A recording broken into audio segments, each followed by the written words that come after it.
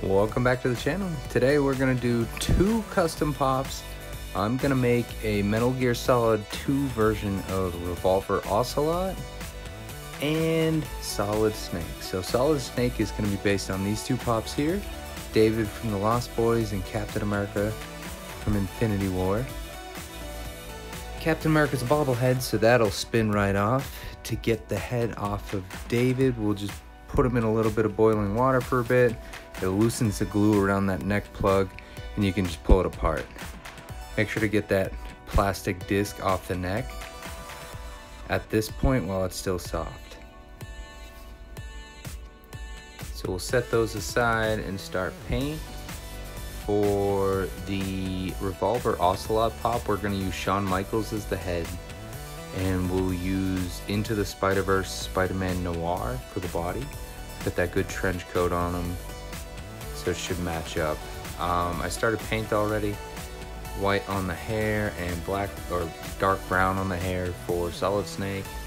Um, the paint, I'm still figuring out a way to record myself painting.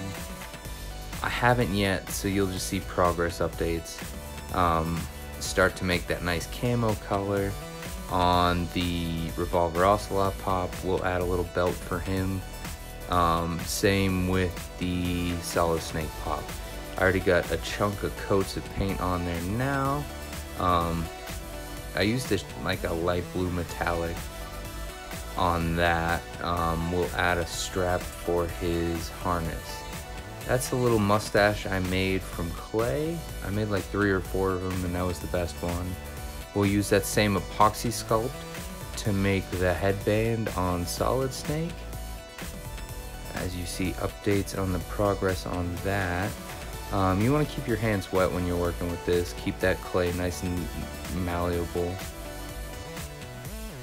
The next step for revolver is going to be to drill a hole so that I can attach the mustache. You don't want to just glue straight onto the pop. Um, you'll notice Funko usually has a little hole for glasses or any other accessories that might be on the face of a Funko. So you drill the hole out, start with a smaller bit, and slowly increase it. Just be careful when you do this, the vinyl is slippery.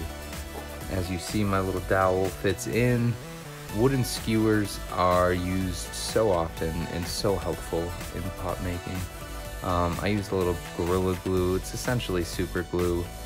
Any brand works. I don't have particular favorite.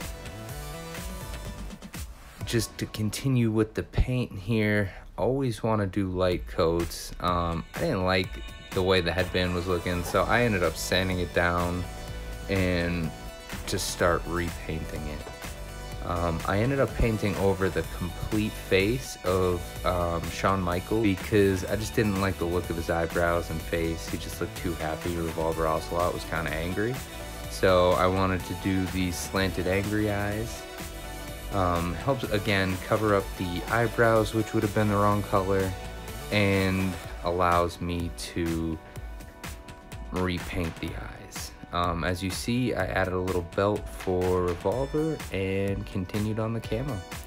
Here's the two final products.